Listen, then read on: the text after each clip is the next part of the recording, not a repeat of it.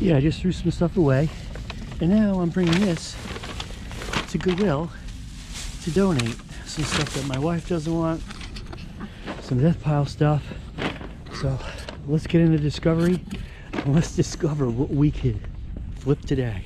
And I'm driving to the Goodwill today because I've got some donations and I'm going to use those donations to make me feel better because I'm going to help somebody out hopefully and I'm going to use it for my own business because when I drop drop off the donations I get a 20% discount of any purchase over $20 so I might be doing some shopping.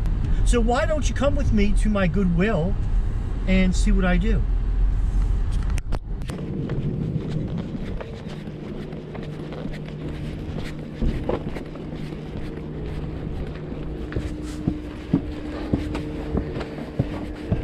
Good morning.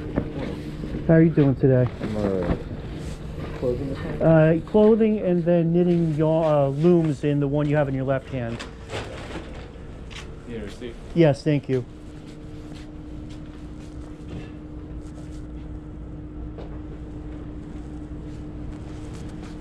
Thank you. You too.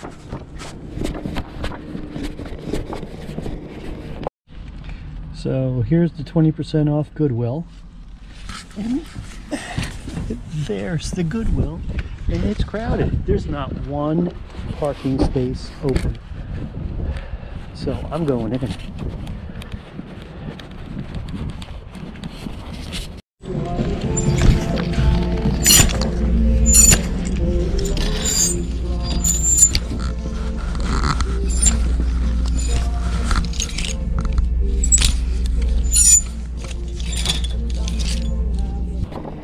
Hey, it's Tom, Two State Reseller.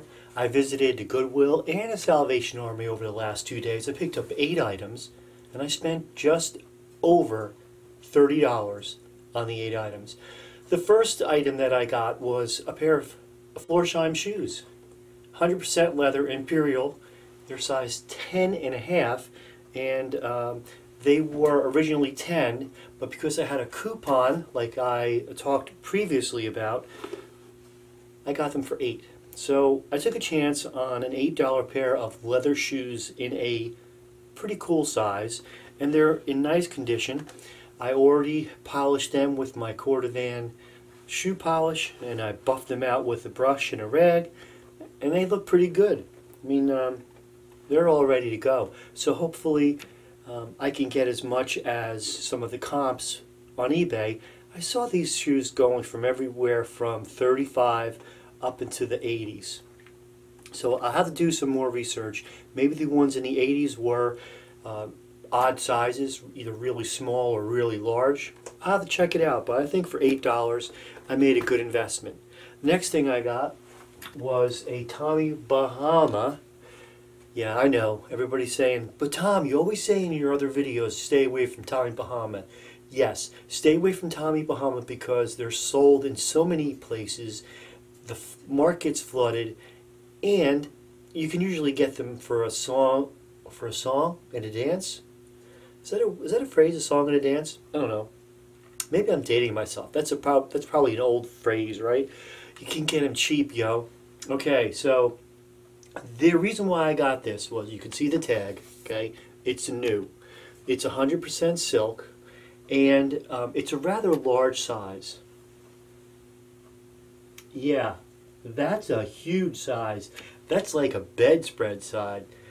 Size. This is a 4XB, and I have a feeling that when I do my measurements, the armpit across armpit is going to be in the 30s.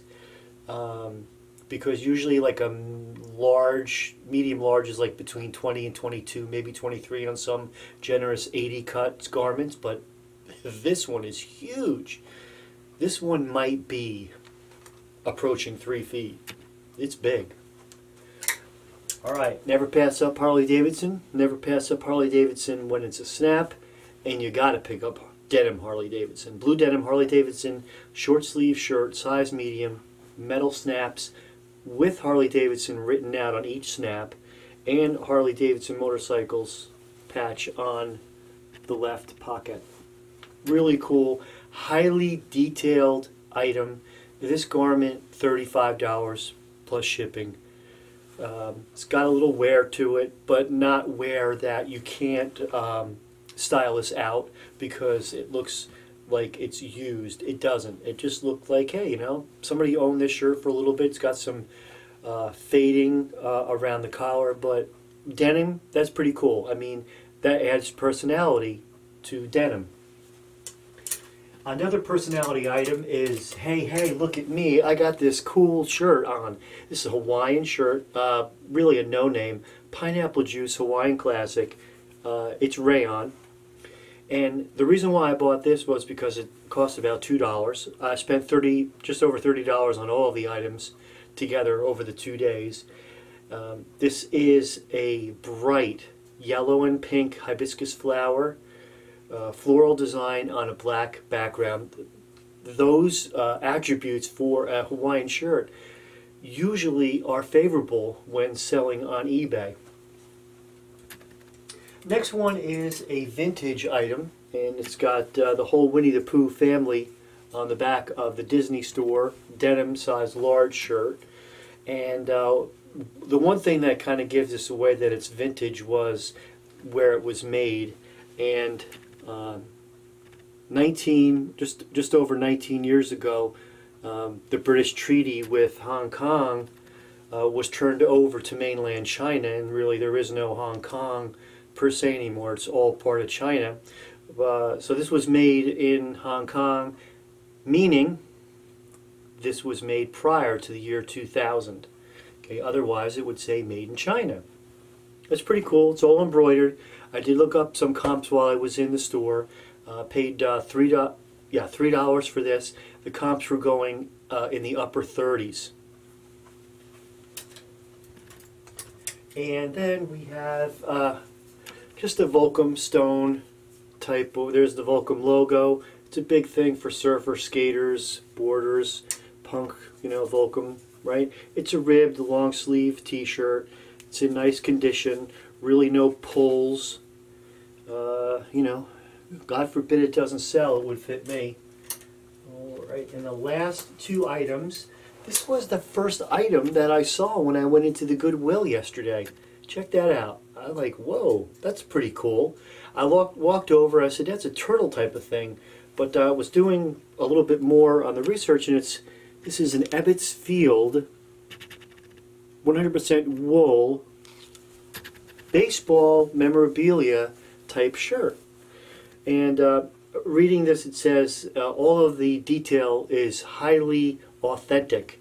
So I guess I'm going to have to do some research on that, but $3 for a 100% wool shirt made in the United States, new with tag. I'm going to take a chance on it. Didn't even look it up. I knew that um, I, I, because it's 100% wool and made in the United States and new with tag, I'd have no problem at least getting my money back.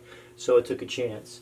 Um, didn't take a chance on the next, the last item. This uh, this is a Levi's trucker black denim jacket uh, with the metal buttons, uh, red tab. I paid uh, I paid three dollars for this at the Salvation Army. I visited the Goodwill yesterday and the Salvation Army this morning.